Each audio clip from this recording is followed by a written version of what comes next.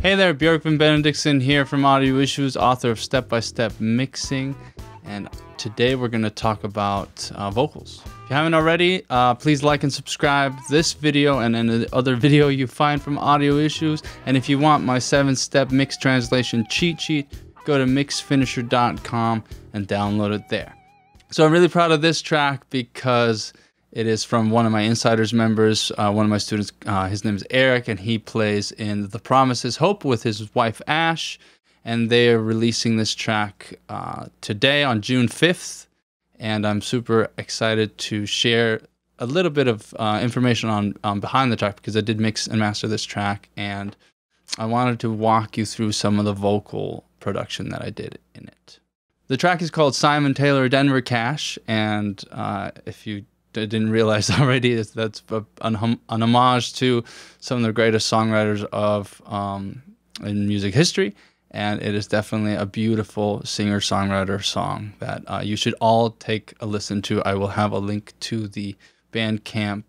Uh, I will have a link to the song on Bandcamp in the description.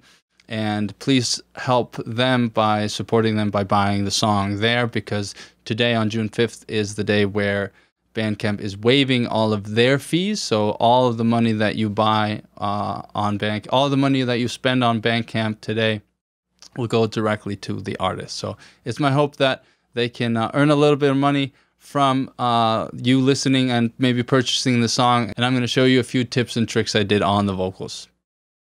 All right, so first things first, it is a dual vocal track. So they're singing at the same time most of the time, except for a few different places here where Ash is in um, just by herself. So Eric comes in most of the time, but she has some accents that are just uh, her. However, I like doing just a tiny bit of separation between dual vocals by doing by just panning them uh, slightly left and slightly right. In this case, it was 10 to the right and 10 to the left on Eric's vocal, and Eric's vocal is always panned to the left. So uh, because it's it's all he never sings by himself, so it's always just you don't have to automate that. But in Ash's case, I did automate the vocals so that they would be uh, singing uh, on the right side of the stereo spectrum whenever he was singing as well. So I thought that was a it's a cool, easy way to act, create a tiny bit of separation between two vocals that should be heard uh, sort of equally. And then the uh, I automated some of the reverb to create uh, a, a slight intimacy at the beginning of the song. So the first verse, she just sings. Uh, she just sings here, and I have a reverb send here that is all the way down and doesn't enter until the second verse here. So it's very intimate and sort of you know quiet in front of everything and then it sort of opens up with the reverb coming in uh, in the verse. And then then actually in this breakdown part here i actually take the reverb down to accent the emotion of the vocal because as a mixing engineer i think you should try to uh, use the tools available to enhance the song in whatever way you can and if you can add emotion to certain parts by either adding or taking out effects, that's a great way to create interest and um, add an extra layer of subtle creativity that will take that song just just just pulls it up a notch. So let's hear that just real quick here. So as you can, as you may be able to hear here, uh, from the start, she's singing in the center and then you it will be imperceptible that it goes slightly to the left but you'll hear that you can hear both the vocals pretty well. The first time i heard graceland my heart fell on the floor. It stole my breath and it shook me to the core so every Friday night I play it in another crowded bar. Cause I think we all need grace, no matter how drunk we are.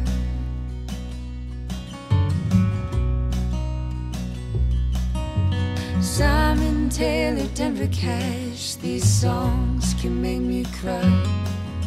But no one's really listening in a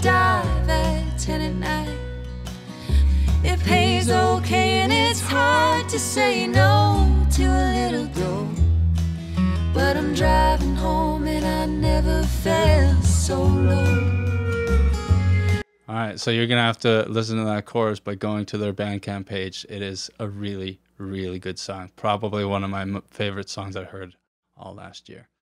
Uh, and as you could hear, it was very, very intimate here. Uh, the vocal sounded way in front. Uh, and then Eric comes in, but he he does have vocal, uh, reverb on him.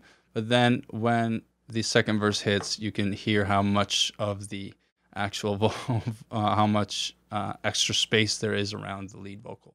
So let's just hear that in solo. fell on the floor.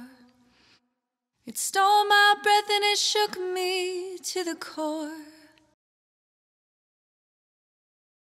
Simon Taylor, Denver Cash, these songs can make me cry. But no one's really listening in a dive at 10 at night. It pays okay and it's hard to say no to a little dough. But I'm driving home and I never felt so low. Still, I'm not gonna let you hear that chorus. You have to go listen to it on their Bandcamp page. It is very, very beautiful. On this on this part here, uh, you can see how I'm reducing the vocal um, reverb again, just to enhance that phrasing that they have. So let's just hear that in solo. If you ask me if I would, I think that I'd do it all the same. Cause if you don't know how to give, then you don't know how to gain. And then on this part here too, uh, is pretty pretty sweet because you can hear how I really cut the reverb here, and it just sort of creates this uh, intimacy again. And I drove a million miles and I, I wanna come back home. Cause applause, it cannot save my soul. Applause, it cannot save my soul. And I drove a million miles and I, I wanna come back home. Cause applause, it cannot save my soul. Applause, it cannot save my soul. Very cool.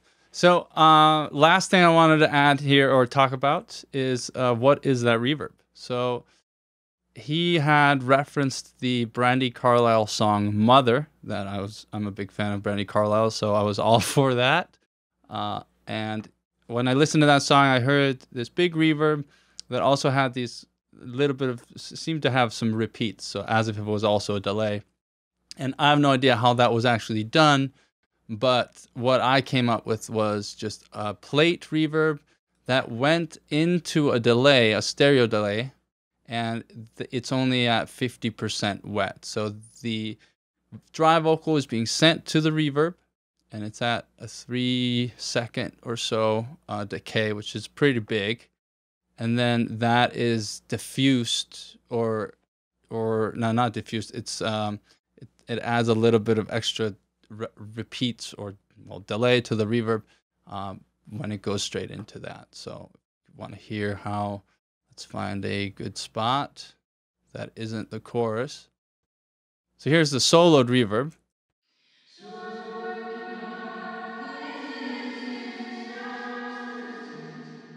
So pretty big, uh, and again in solo here.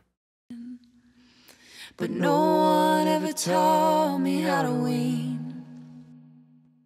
And then if you just keep the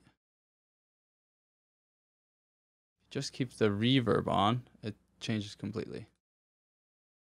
So I've been working hard for it to live since I was 13. But no one ever taught me how to wean. It adds those extra echoes in the background as the as the reverb decays, and it just increases the perceived space without necessarily getting in the way of the vocal sound itself. And um, it's a really great technique to add extra depth without cluttering up the vocal. So I hope that was helpful. Definitely go check out their song at uh, on Bandcamp.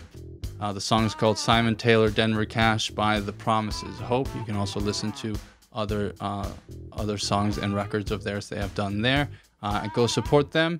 And because today, uh, on June 5th, um, the Bandcamp is waiving all their fees, so all the money directly goes to them. All right, I hope you found that useful. Once again, I'm Björgvin Benediktsson from Audio Issues, author of Step by Step Mixing.